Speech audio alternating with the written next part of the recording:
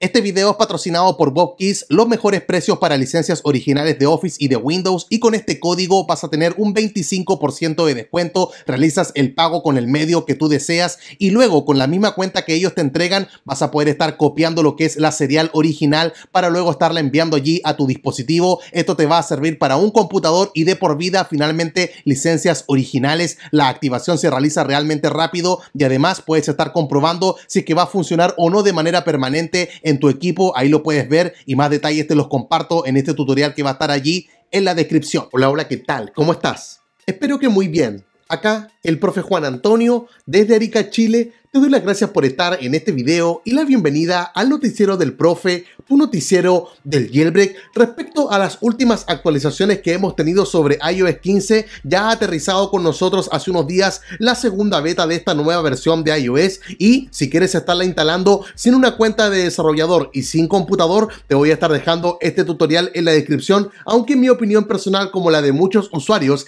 es que al parecer está mucho más aburrido de lo que se estaba esperando, al menos habían altas expectativas con esta versión de iOS, pero no ocurrió, porque más encima estuvo copiando tantas cosas al mundo del jailbreak, que son las que yo te muestro en este video, que francamente no merece la pena estar probando la beta. Para la comunidad del jailbreak me estoy dirigiendo, obviamente, así que mi recomendación es que simplemente estés bajando con este tutorial a iOS 14 y estés esperando allí por el próximo jailbreak. Pero antes de aquello, hay que estar mencionando que al parecer Apple hace unos días atrás se dio un festín con un montón de certificados de desarrollador porque los estuvo revocando y se vieron afectados varios tutoriales que yo te he compartido como por ejemplo el de Flexstore. Hace un tiempo atrás también estuve compartiendo AppDB Pro y también se vio dañado toda la gente de UDID Registrations. ¿Será que porque dejaron de funcionar estos métodos, cada uno de ellos son una estafa? Obviamente no, nadie se estaba esperando esta revocación masiva que estuvo realizando Apple. Mi consejo es que te estés comunicando con ellos obviamente allí en inglés y ver qué solución te pueden estar entregando. Y recuerda que esta semana finaliza el sorteo de PassFab iPhone Unlocker la posibilidad de estar reviviendo tu dispositivo, incluso si es que este está desactivado después de tantos intentos de estar colocando la contraseña allí en la pantalla de bloqueo y la mejor alternativa de iTunes viene a ser iMazing, que hace un trabajo increíble con las copias de seguridad. También son varias licencias de por vida que se están regalando de este programa que creo que es indispensable, tanto para los usuarios del jailbreak como para los que no tienen idea de él. Y también todo lo que es Velvet, este tweet que nos muestra cuán brutales puede ser las notificaciones en el mundo del jailbreak, algo que se esperaba para iOS 15. Apple no nos lo dio, pero con el jailbreak sí lo vas a tener. Ahora sí, vamos a partir hablando de las liberaciones y partimos con este desarrollador que si tú lo ves a lo mejor va a parecer desconocido para ti, también lo era para mí, pero eso es una muy buena noticia, ya te voy a explicar por qué. Lo siguiente que él estuvo compartiendo en su cuenta de Twitter es la liberación de dos vulnerabilidades directamente allí al kernel, que son las que estábamos esperando, lo hizo allí en su cuenta de GitHub. Y si es que vemos primero la segunda vulnerabilidad, la que está acá abajo, él nos muestra esta captura de pantalla donde se ve un iPhone que está en iOS 14.2, la identificación del modelo es 8,4, eso quiere decir que lo está mostrando en un iPhone SE primera generación. Y si es que revisamos el contenido de seguridad que libera Apple con cada actualización, nos muestra que un atacante puede estar elevando los privilegios. Y fíjate bien porque las personas que estuvieron reportando esta vulnerabilidad no es este usuario de Twitter que veíamos hace un rato, de hecho, él mismo estuvo aclarando en su GitHub de que él no la encontró,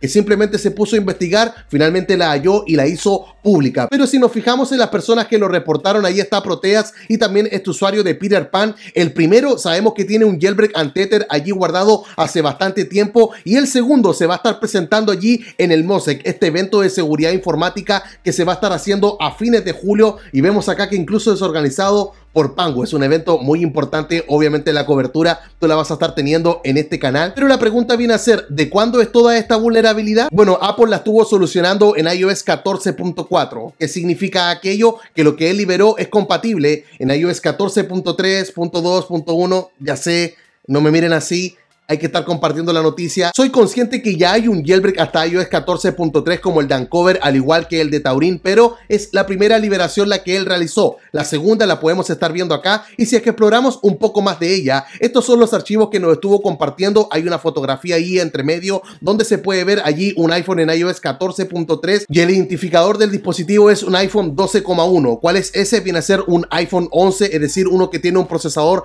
A13, pero si está en iOS 14.3 no te sientas mal. Mira la noticia que se viene acá porque él mismo estuvo aclarando de que esto fue solucionado en iOS 14.5. ¿Qué quiere decir aquello? Que esta segunda vulnerabilidad que él liberó es compatible en iOS 14.4.2, 14.4.1 y 14.4. Lo siguiente a recalcar es que él mismo estuvo aclarando que esta vulnerabilidad es compatible con todos los dispositivos que no utilizan este medio de protección del pack. ¿Qué quiere decir aquello? Todos los que estás viendo en pantalla, desde el iPhone 10, 8 hacia abajo, desde los que tienen un procesador a 11 o inferior, son compatibles con esta vulnerabilidad. Y a lo mejor algunos podrán decir, pero si ellos ya tienen el jailbreak de Checkbrain, ¿cuál es la gracia de tener que tener disponible esta vulnerabilidad? Bueno, se podría estar actualizando el jailbreak de Uncover hasta iOS 14.4.2, al igual que el de Taurin, y lo bueno es que los usuarios que tienen un iPhone 8 y un iPhone 10 podrían tener de vuelta lo que es su Touch ID y su Face ID. La pregunta es, entonces quedan absolutamente descartado los dispositivos que tienen un procesador A12, A13 y un A14? La respuesta es no, porque con esta vulnerabilidad que se ha liberado, lo único que restaría ahora está realizando el pack bypass, es decir, realizar este salto a la protección que ha establecido Apple y junto con esta otra liberación que se realizó de este exploit del kernel, podríamos estar alcanzando los privilegios necesarios para realizar un jailbreak también en estos dispositivos. Ahora, si que tú eres un usuario de un iPhone 10S, 10R, cualquiera de los 11 o de los 12 o un SE